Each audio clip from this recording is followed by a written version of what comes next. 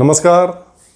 ज्या R S एसने किंवा ज्या सावरकरांनी किंवा तत्कालीन बाकीच्याही हिंदुत्ववाद्यांनी भगतसिंग राजगुरू सुखदेव यांची फाशी थांबवण्यासाठी काडीचेही प्रयत्न केले नाहीत ब्रिटिशांविरोधात आंदोलनाची संघर्षाची कोणतीही भूमिका तेव्हा घेतली नाही किंवा विनंत्या अर्ज वगैरे हेही केलं नाही तेच सगळे लोक महात्मा गांधींच्या नावानं मात्र तेव्हाही सातत्यानं खडे फोडत राहिले. आणि त्यांचे आजच्या काळातील अंधसमर्थकही आजही तोच उद्योग करताना आपण अनेकदा पाहतो. म्हणूनच या विषयाचा एकदा पर्दाफाश करून टाकूया असा विचार करून आजचा हा एपिसोड बनवत आहे. परंतु त्या सगळ्या प्रकरणाकडे म्हणजे भगतसिंग राजगुरू सुखदेव यांच्या फाशीकडे जाण्याअगोदर भगतसिंग यांच्या आचार विचारांचा आपण थोडक्यात मागोवा घ्यायला हवा. कारण काय आहे की भगतसिंग हेही जणू काही हिंदुत्ववादी विचारांचे होते संघ विचारांचे होते. अशा प्रकारचा खोडसाळ प्रचार होत असलेला अनेकदा आपण पाहतो. होतंय काय की आर एस एस किंवा भाजपच्या पूर्वाश्रमींपैकी कोणीही देशाच्या स्वातंत्र्य लढ्यामध्ये अजिबातच सहभागी नव्हतं. त्यामुळे मग कधी आयुष्यभर काँग्रेसी विचारांशी निष्ठावंत राहिलेले वल्लभभाई पटेल तर कधी डाव्या विचारांचे भगतसिंग आधी स्वातंत्र्य योद्ध्यांना त्या आपल्या विचारांचं असल्याचं भासवून देशाला संभ्रमित क करण्याचे उद्योग हे आर एस एसची सगळी मंडळी करत राहतात. भगतसिंग हे सर्व प्रकारच्या धार्मिक विचारांपासून लांब होते. Why I am a atheist म्हणजेच मी नास्तिक का आहे हे त्यांचं पुस्तक प्रसिद्ध आहे. मराठीमध्ये तो अनुवाद सहजपणे उपलब्ध आहे. अगदी पी डी एफ स्वरूपात नेटवरही आहे. तुमच्यापैकी कुणी जर तो अजून वाचला नसेल तर नक्की वाचा. प्रत्येकाला आत्मचिंतन करायला भाग पाडतील असे त्यातले भगतसिंग यांचे विचार आहेत. प्रचंड वाचन करायचे ते. म्हणजे भगतसिंग यांच्या समकालीन काही मित्रांनी असं लिहून ठेवलं आहे की हातामध्ये कोणतं ना कोणतं पुस्तक नाही असं आम्ही कधीच भगतसिंग यांना पाहिलेलंच नाही. आणि केवळ भारतीयच नव्हे तर अमेरिकन फ्रेंच रशियन चायना आदी जगभरातील विचारवंतांची पुस्तकं ते वाचायचे सतत. बहुधा त्यामुळेच त्यांचा दृष्टिकोन अतिशय व्यापक आणि विशाल झालेला होता. त्या काळातील कीर्ती आणि अन्य काही भारतीय मासिकांमध्ये त्यांनी जे काही प्रचंड लिखाण करून ठेवलेलं आहे भगतसिंग यांनी त्यात त्यांच्या या वसुधैव कुटुंबकम या विचारांचं प्रतिबिंब आपल्याला पाहायला वाचायला मिळतं जगात कोणीही कोणावर अन्याय अत्याचार करू नये गरीब कष्टकरी शिक्षित वंचित यांना न्याय देण्यासाठी विशेष प्रयत्न व्हायला हवेत. विशेषत कष्टकरी कामगार आणि शेतकरी यांना त्यांच्या कष्टाचं घामाचं मोल व्यवस्थितपणे मिळायला हवं असा त्यांचा आग्रह त्यांच्या या लिखाणामधून दिसतो. एक सत्ताधारी जाऊन दुसरे सत्ताधारी आल्यावरही गरीब कष्टकऱ्यांना शेतकऱ्यांना वंचितांना न्याय मिळणार नसेल तर केवळ असा राजकीय सत्तापालट होऊन काय साध्य होणार? असा प्रश्नही त्यांनी त्यांच्या लिखाणामध्ये उपस्थित केलेला आपल्याला वाचायला मिळतो. आणि नागरिकांनी सतत आपल्या हक्कांसाठी न्यायासाठी जागृत राहायला हवं ही त्यांची स्वतःची जबाबदारी आहे असंही त्यांनी लिहून ठेवलेलं आहे. आधी Hindustan socialist republic republican association आणि नंतरच्या काळामध्ये स्थापन केलेली नवजवान भारत सभा या दोनही संघटनांच्या मॅनिफेस्टोमध्ये आपल्याला भगतसिंग आणि त्यांच्या सहकार्यांच्या या सगळ्या जनहिताच्या विचारांचं प्रतिबिंब पाहायला मिळतं. राजकीय पक्षांनी सत्ताधाऱ्यांनी राजकारण समाजकारण आणि धर्मकारण यांची गल्लत करता कामा नये. नये.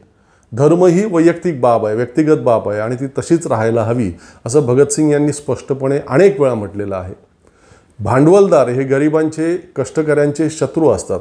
त्यामुळे त्यांच्यापासून योग्य ती सावधानता बाळगायला हवी असंही त्यांनी लिहून ठेवलेलं आहे. आपल्याकडे आता आपण पाहतोय की धर्म राजकारणाच्या डोक्यावर बसला आहे आणि निवडक काही एक दोन भांडवलदारांनी देश कसा ताब्यात घेतला आहे आपण सगळे अनुभवतोय भगतसिंग यांची पूजा करायची जयंती पुण्यतिथीला त्यांच्या सन्मानार्थ भाषणं करायची परंतु त्यांचे विचार गुंडाळून ठेवायचे. असो. भारतातील ब्रिटिश राज प्रशासकीयदृष्ट्या अधिक मजबूत करण्यासाठी सायमन कमिशनची निर्मिती करण्यात आली होती. आपण देशाकडे देशासाठी स्वातंत्र्य मागतोय ब्रिटिशांकडे आणि त्याच वेळेला ब्रिटिश मात्र नेमकी उलट कृती करतायत हे पाहून तेव्हा जनतेमध्ये प्रचंड संताप निर्माण झालेला होता. आणि त्यामुळेच काँग्रेससह अगदी मुस्लिम लीगनेही या सायमन कमिशनच्या विरोधामध्ये भूमिका घेतली होती. सायमन गो बॅक या घोषणा सर्वत्र निनादत होत्या. एकोणीसशे अठ्ठावीसचा तो काळ होता. सायमन कमिशन हे सात गोऱ्या ब्रिटिश अधिकाऱ्यांचं मंडळ जिथे जाईल तिथे त्यांना काळे झेंडे आणि प्रचंड विरोधाचा सामना करावा लागला होता. लाला लजपतराय यांनी त्यातील लाहोरच्या आंदोलनाचं त्या काळामध्ये नेतृत्व केलं होतं.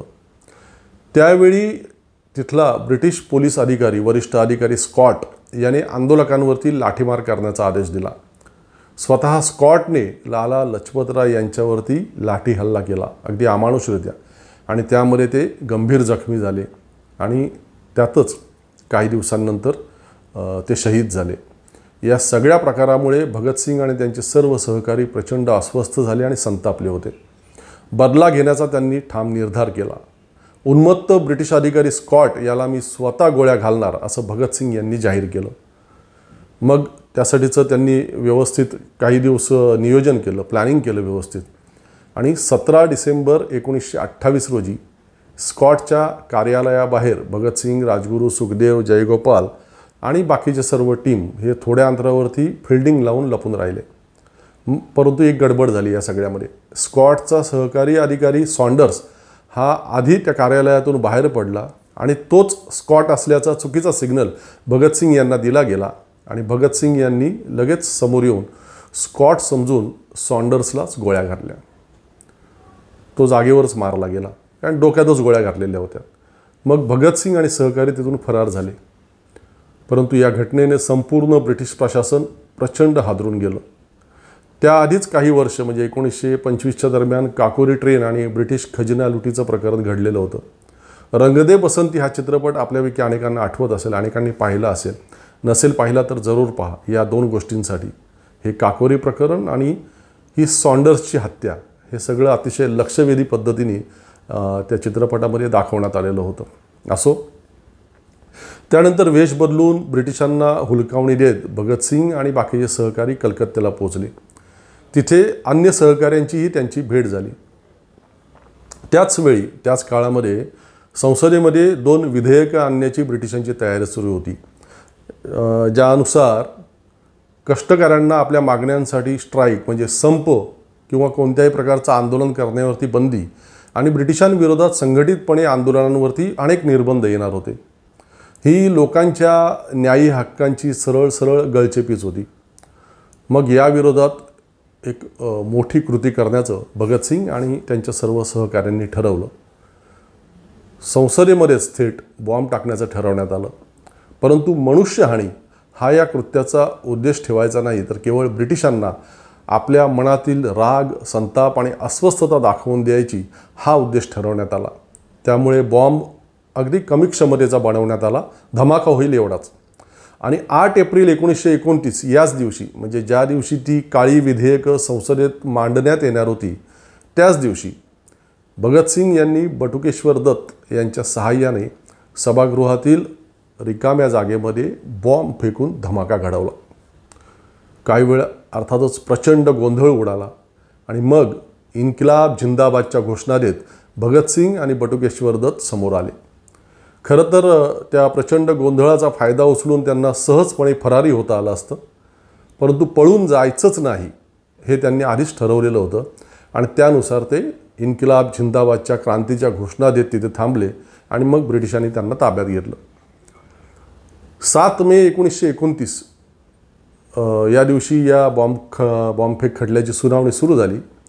भगतसिंग यांनी स्वतःची बाजू स्वतःच मांडायचं ठरवलं तर बटुकेश्वर दत्त यांच्यासाठी काँग्रेसचे नेते आणि कायदेतज्ञ असफ अली हे कोर्टात हजर झाले. त्यानंतर काही काळ न्यायालयीन कामकाज चाललं आणि मग अंतिमतः कारण फेटाळलं नव्हतंच त्यांनी काही. सरळ सरळ ते स्वतःहून तिथे थांबून ब्रिटिशांच्या हातात पोलिसांच्या हातात सहभागी झाले होते. त्यामुळे भगतसिंग आणि बटुकेश्वर दत्त यांना या बॉम्बफेक प्रकरणी चौदा वर्षांची शिक्षा सुनावण्यात आली. भगतसिंग यांना लाहोरच्या जेलमध्ये ठेवण्यात आलं पाठवण्यात आलं तर बटुकेश्वर दत्त यांना मात्र अंदमानात सेल्युलर जेलमध्ये काळ्या पाण्यावर पाठवण्यात आलं. इथे हे पुन्हा सांगायलाच हवं की एकदाही माफी न मागता किंवा एकही दया याचिका न करता बटुकेश्वर दत्त यांनी ही चौदा वर्षांची काळ्या पाण्याची शिक्षा भोगली आणि सुटका झाल्यावरती ते परतले देशात त्यावेळी सुरू असलेल्या भारत छोडो आंदोलनात एकोणीसशे बेचाळीसच्या पुन्हा ते सहभागी झाले आणि पुन्हा त्यांना त्यात अटक झाली आणि मग परत ते देश स्वतंत्र होईपर्यंत कारागृहात होते. माफी न मागता शिक्षाही भोगली आणि बाहेर आल्यावरही पुन्हा स्वातंत्र्य चळवळीत सहभागी झाले पुन्हा जेलमध्ये गेले. असे हे खरे स्वातंत्र्यवीर होते. तिकडे बॉम्ब फेक प्रकरणामध्ये भगतसिंग लाहोरच्या जेलमध्ये शिक्षा भोगत असतानाच त्या आधीपासूनच सॉन्डर्सच्या खुनाचा तपास ब्रिटिश पोलीस अगदी वेगाने करीतच होते. त्यात ब्रिटिशांना काही कच्च्या कड्या आढळल्या सापडल्या. भगतसिंग यांचे सहकारी जयगोपाल राज ओहरा नाथ घोष आणि मनमोहन बॅनर्जी हे चौघेजणं फितूर झाले. ब्रिटिशांनी त्यांना पैसा जमीन स्कॉलरशिप किंवा अन्य सगळ्या बाबी पुरवून भगतसिंगांपासून फोडलं फोडण्यामध्ये यश मिळवलं. आणि सॉन्डर्सच्या हत्येतील भगतसिंग राजगुरू सुखदेव आदी सगळ्यांचा सहभाग त्यांच्याकडून वदवून घेतला. या चौघांच्या गद्दारीमुळे मग ब्रिटिशांचं काम एकदम सोपं झालं. त्यांनी आधीच जेलमध्ये असलेल्या भगतसिंग यांना पुन्हा सॉन्डर्सच्या हत्येप्रकरणी प्रमुख आरोपी आरोपी म्हणून अटक केली. सुखदेव राजगुरू आदींनाही अटक झालीच होती आणि त्याच लाहोरच्या कारागृहामध्ये त्यांनाही आणण्यात आलं. इथे कारागृहात आल्यावरती आपल्याला राजकीय कैदी म्हणून वागवण्यात यावं आणि जेलमधील सगळ्याच कैद्यांना मानवतेच्या दृष्टीनं किमान आवश्यक सोयी सुविधा पुरवण्यात याव्यात यासाठी या सगळ्यांनी तिथे उपोषण सुरू केलं. त्यांच्या या उपोषणाचं वृत्त ट्रिब्युन या वर्तमानपत्रामुळं जगासमोर आलं आणि ब्रिटिशांविरोधात प्रचंड संतापाचं तर भगतसिंग राजगुरू सुखदेव आणि त्यांच्या सर्व सहकाऱ्यांविषयी समर्थनाचं वातावरण देशभरात निर्माण व्हायला लागलं. हे भगतसिंग राजगुरू सुखदेव आणि त्यांच्या सहकाऱ्यांचं उपोषण बराच काळ सुरू राहिलं आणि त्यामध्ये उपोषणाच्या त्रेसष्टव्या दिवशी अखेर जतींद्र दास यांचा मृत्यू झाला. ते शहीद झाले. त्यांच्या अंत्ययात्रेला पन्नास हजाराहून अधिक लोक जमले. स्वतः नेताजी सुभाषचंद्र बोस त्या अंत्ययात्रेमध्ये उपस्थित राहिले. आणि साऱ्या देशभर जतींद्रदास यांच्या मृत्यूने ब्रिटिशांविरोधात संतापाची प्रचंड लाट निर्माण झाली. इकडे अनेकांनी विनवण्या करूनही भगतसिंग यांचं उपोषण सुरूच राहिलं. अखेर त्यांच्या वडिलांनी प्रचंड कळकळीची विनंती केल्यानंतर तब्बल एकशे सोळाव्या दिवशी एकशे सोळाव्या दिवशी भगतसिंग यांनी आपलं उपोषण सोडलं. त्यावेळी त्यांची शारीरिक अवस्था साहजिकच प्रचंड खालावली होती. परंतु मानसिकदृष्ट्या ते प्रचंड खंबीर झाले होते आधीपेक्षाही अधिक. न्याय्य मागण्यांच्या पूर्ततेसाठी भगतसिंग यांनी केलेलं हे उपोषण इतिहास कधीही कोणालाही विस्मरण त्याचं होऊ शकणार नाही. दुसरीकडे याच काळात भगतसिंग यांना सतत वाढत्या समर्थनानं ब्रिटिश चिंताक्रांत झाले होते. त्यांनी कायद्याची पायमल्ली करून पूर्णपणे बेकायदेशीर मार्गाने सॉन्डर्सच्या हत्येचा खटला पुढे रेटला. त्यामध्ये आपली बाजू मांडायचीच नाही असा निर्णय मग त्यामुळे भगतसिंग आणि त्यांच्या सर्व सहकाऱ्यांनी घेतला. तर त्याच्याही पुढचं पाऊल टाकत आरोपींना कोर्टात आणायचीच गरज नाही. त्यांच्या अनुपस्थितच खटला पुढे चालवता येईल असा एक नवीन काय म्हणता येईल त्याला? अतिशय म्हणजे अर्थच नाही असा नियम सरकारने अंमलात आणला आणि सुनावणी झटपट पूर्ण करायला घेतली. भगतसिंग आदींना कठोर शिक्षा दिली गेली नाही. तर आम्ही सामूहिकरित्या राजीनामे देऊ अशी भूमिका पंजाब आणि अन्य काही प्रांतातील तत्कालीन ब्रिटिश अधिकाऱ्यांनी गव्हर्नरला कळवली. आणि त्यातच कोर्टाचा निकाल आला आणि भगतसिंग राजगुरू सुखदेव यांना फाशी तर त्यांच्या बाकीच्या सहकाऱ्यांना वेगवेगळ्या शिक्षा सुनावण्यात आल्या. या निकालाने तर देशभरात हल्लकल्लोळ निर्माण झाला. लोक प्रचंड संख्येने रस्त्यावर उतरले. परिस्थिती तेव्हाची इतकी गंभीर झाली की देशभरामध्ये जमावबंदी आणि आणीबाणी लागू करावी लागली. महात्मा गांधी पंडित नेहरू मौलाना आझाद नेताजी सुभाषचंद्र बोस आणि अगदी मोहम्मद अली जिन्नाही या सगळ्यांनी कोर्टाच्या या निकालाचा निषेध केला. त्याआधी म्हणजे चार मे एकोणीसशे तीस रोजीच महात्मा गांधी यांनी गव्हर्नरला पत्र लिहून या कोर्टाचं कामकाज या केसमधलं कसं बेकायदेशीर प्रकारे चालू आहे त्याबाबत तक्रार लेखी स्वरूप नोंद लेखी स्वरूपात नोंदवली होती. एकोणीस जानेवारी एकोणीसशे एकतीस रोजी त्यांनी पुन्हा ब्रिटिश गव्हर्नर आणि व्हाईसरॉय यांना ही फाशीची शिक्षा स्थगित करण्याचं आवाहन केलं. चौदा फेब्रुवारीला पंडित नेहरू आणि मदन मोहन मालवीय यांनी जेलमध्ये जाऊन भगतसिंग राजगुरू सुखदेव यांची भेट घेतली. एक रणनीतीचा भाग म्हणून त्यांनी दिलगिरी व्यक्त करणारा अर्ज ब्रिटिशांना सादर करावा अशी विनंती करण्यात आली. परंतु भगतसिंग आणि त्यांच्या सर्व सहकाऱ्यांनी ही नेहरू आणि मालवीय यांची विनंती नम्रपणे फेटाळून लावली. त्यापूर्वी खुद्द भगतसिंग यांच्या वडिलांनी माझा मुलगा निर्दोष आहे ब्रिटिशांनी दया दाखवून त्याची मुक्तता करावी अशा आशयाचं एक पत्र प्रसिद्ध केलं होतं. परंतु त्याची माहिती भगतसिंग यांना मिळताच ते प्रचंड प्रक्षुब्ध झाले होते. आमच्या उद्दिष्टावरच तुम्ही पाणी फिरवताय असा संताप त्यांनी आपल्या वडिलांजवळ व्यक्त करून ते पत्र मागे घ्यायला लावलं होतं. कोणत्याही परिस्थितीमध्ये माफी मागणार नाही असा भगतसिंग राजगुरू सुखदेव आणि सगळ्यांचा ठाम निर्धार होता. सात मार्च सतरा मार्च आणि अठरा मार्च असे लागोपाठ असफ अली नेताजी आणि गांधी यांनी पुन्हा अर्ज केले की किमान शिक्षा पुढे तर ढकला. शिक्षेची अंमलबजावणी पुढे गेली की मिळालेल्या अवधीतून काही ना काही मार्ग काढता येईल असं या सगळ्यांना अगदी मनातून मनापासून वाटत होतं. वीस मार्चला पुन्हा गांधीजी गव्हर्नरला प्रत्यक्ष भेटले. शिक्षेला स्थगिती देण्याची कळकळीची विनंती त्यांनी केली. या फाशीची अंमलबजावणी झाली तर तुम्हाला या देशात म्हणजे भारतात राज्य करणं प्रचंड कठीण होईल जनतेचा प्रचंड मोठा असा उद्रेक होईल हे त्यांनी सांगितलं दबाव आणण्याचा प्रयत्न केला. काय करता येईल ते पाहतो. असंच फक्त इतकंच गव्हर्नर गांधीजींना त्या प्रसंगी म्हटला परंतु काहीही हालचाल झाली नाही. केवळ भारतच नव्हे तर इंग्लंड फ्रान्स रशिया अमेरिका आणि सगळीकडून शेकडो पत्र आणि चिठ्ठ्या ब्रिटिश गव्हर्नर आणि व्हाईसरॉयला आल्या ज्यामध्ये भगतसिंग राजगुरू सुखदेव यांच्या शिक्षेच्या अंमलबजावणीला स्थगितीची मागणी करण्यात आली होती. हे सगळंच अतिशय अद्भुत होतं. ब्रिटिशांवर प्रचंड दबाव निर्माण झालेला होता परंतु आता झुकणं म्हणजे आपला कमकुवतपणा सिद्ध करणारं ठरेल असं अनेक वरिष्ठ ब्रिटिश अधिकाऱ्यांचं मत होतं. पुढे तेवीस मार्चला महात्मा गांधींनी एक सविस्तर पत्र व्हाईसरॉयला पाठवलं सकाळीच ज्यामध्ये त्यांच्या सत्सद विवेकबुद्धीला त्यांनी कळकळीचं आवाहन केलं होतं. परंतु ते पत्र व्हाईसरॉयच्या हाती पडतानाच तिकडे तुरुंगामध्ये भगतसिंग राजगुरू आणि सुखदेव यांना फासावर चढवण्यात आलं होतं. सगळ्यांच्याच सूचनांचा विनंत्यांचा विचार करून भगतसिंग यांनी पंजाबच्या गव्हर्नरला एक अंतिम पत्र जरूर लिहिलं होतं. परंतु त्यात त्यांनी बाकीच्या काही बाबींसोबतच हे लिहिलं होतं की आम्हाला माफी तर अजिबात नकोच परंतु फासावर चढवण्याऐवजी आम्हाला गोळ्या घाला. ते मरण आम्हाला अधिक शूरपणाचं वाटेल. भगतसिंग हे असे होते.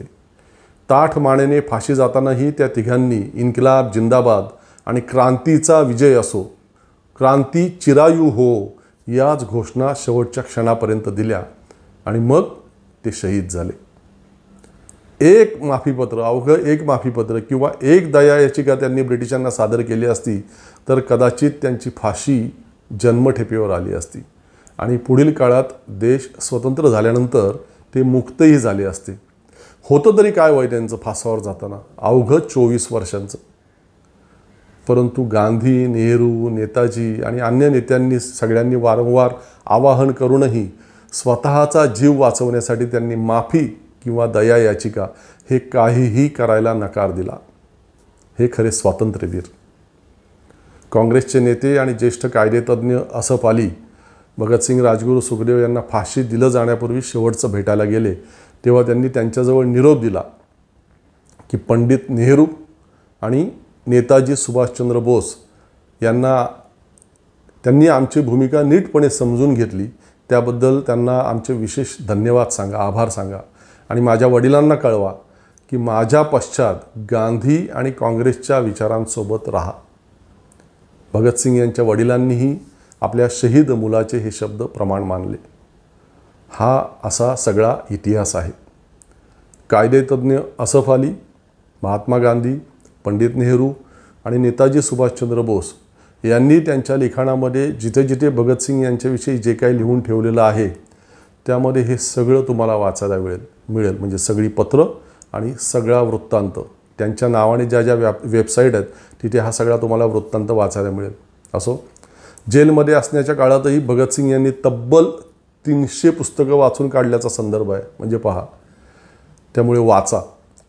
शहीद भगतसिंग यांच्या चरित्रातून इतका एक मुद्दा जरी आपण मनावर घेतला तरी ते अतिशय महत्त्वाचं ठरेल.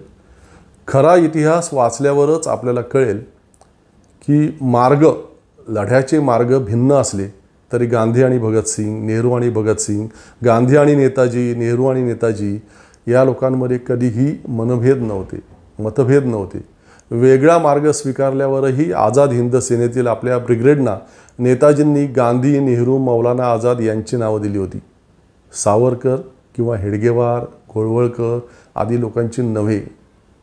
आणि शहीद होतानाही भगतसिंग आपल्याला आपल्या पित्याला सांगून गेले असा निरोप देऊन गेले की गांधींच्या सोबत राहा. हे आपण कधी लक्षात घेणार? हा या सगळ्या थोर माणसांचा एकमेकाबद्दलचा आदर आणि स्नेह होता. त्यांच्यात दरी आणि मतभेद होते हे सांगणारे किंवा गांधीजींनी नेहरूंनी भगतसिंग यांना वाचवण्याचे प्रयत्न केले नाहीत हे सांगणारे प्रचंड खोटारडे आहेत. गांधी काही देशाचे व्हाईसरॉय नव्हते आणि त्यांच्याकडे शिक्षेला स्थगिती देण्याचा कोणताही अधिकार नव्हता ही साधी समजून घेण्याची बाब आहे. विनंत्या करीत राहणं एवढंच त्यांच्या हाती होतं आणि ते त्यांनी पूर्णपणे सातत्यानं केलं जेवढा शक्य त्या मार्गाने दबाव आणण्याचा ब्रिटिशांवर प्रयत्न केला. त्याच्यात त्यांना यश आलं नाही हा मार्ग वेगळा. असो आता पुन्हा कधी जेव्हा या खोटारड्या लोकांपैकी तुमच्यासमोर कुणी असं काही बोलेल असा काही आरोप करेल तेव्हा त्यांना या एपिसोडची लिंक द्या. आणि त्यांनी किंवा त्यांच्या पूर्वजांनी भगतसिंग आणि त्यांच्या सहकाऱ्यांना वाचवण्यासाठी काय केलं होतं? लढा तर सोडा संघर्ष तर सोडा एक अर्ज तरी दिला होता का ब्रिटिशांना? याचा जाब विचारा. असो अभिव्यक्तीचे हे एपिसोड आपल्याला आवडत असतील तर कृपया आपलं चॅनल आधी सबस्क्राईब केला करा. अजून नसेल केलं तर. आणि एपिसोड आवडत असतील तर लाईक करा. आपल्या आपल्या मुलांमध्ये मित्रमंडळींमध्ये आप्तेष्टांमध्ये शेअर करा. या आवाहनासोबतच आजच्या या भागामध्ये इथेच थांबतो. पुन्हा भेटू लवकरच आणखी एका नवीन विषयासह. तोपर्यंत धन्यवाद.